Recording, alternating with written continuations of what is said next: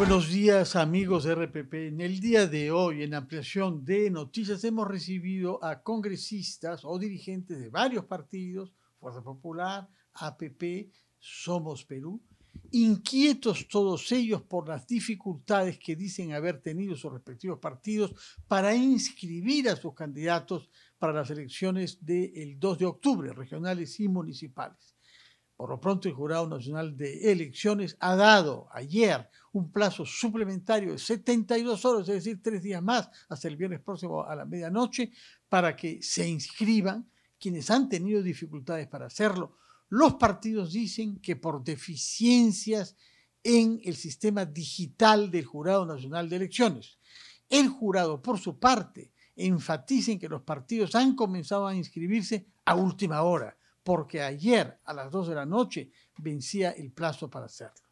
Hay que saber que hay en total más de 10.000 listas de candidatos, porque se trata de elegir alcaldes y concejales de 1.874 distritos del Perú, más las provincias y más los gobiernos regionales. No podemos sino esperar que estas elecciones se hagan con la mayor representatividad posible y que no hayan dudas sobre la limpieza del acto y la eficiencia del Jurado Nacional de Elecciones. Pero desde el día 7 de junio que se aperturó este sistema, digamos, presentó estas fallas que eran eh, cuantiosas y, experimentadas por todos los partidos políticos. Es más, tenemos las eh, evidencias como correos electrónicos, llamadas telefónicas, en la comunicación WhatsApp con diversos funcionarios del Jurado Nacional de Elecciones que ya les poníamos en conocimiento, alertábamos de estas irregularidades y creo que el Jurado Nacional de Elecciones ha tomado estos hechos con las pruebas, claro está,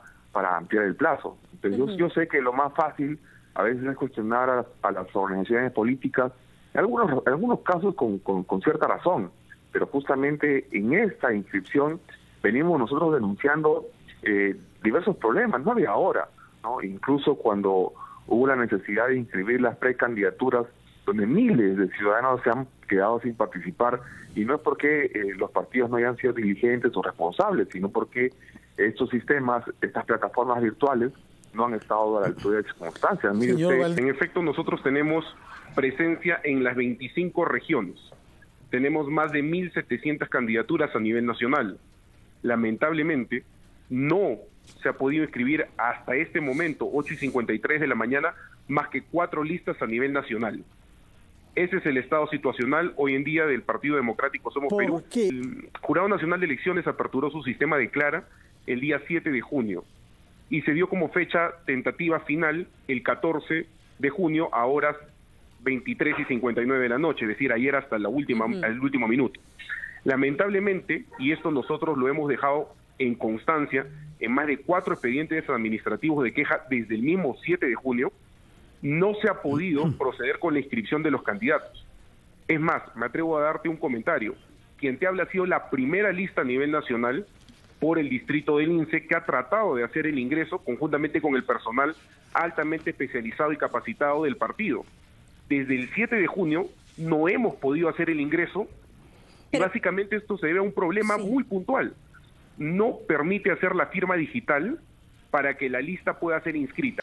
Por otra parte, hemos recibido a un académico de la Real Academia Española que está en el Perú para impulsar la realización en marzo próximo de un Congreso Mundial de la Lengua Española que será copresidido por el rey de España que vendrá a la ciudad de Arequipa con ese motivo y el presidente de la República, Pedro Castillo.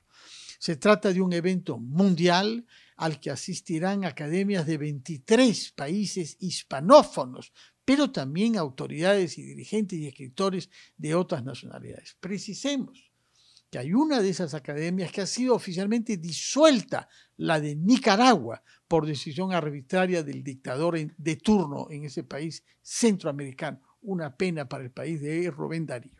Pues eh, tenemos programado celebrar en Arequipa el octavo Congreso Internacional de la Lengua Española, que es un acontecimiento mundial, en efecto, porque Celebramos, eh, celebraremos entonces el estado de la lengua. Vamos a examinar cuál es, eh, cuáles son la situación actual, participan eh, grandes autoridades intelectuales de todo el mundo, de todo el mundo estrictamente, se concentrarán en Arequipa, vienen las mayores autoridades de nuestro país y también las peruanas.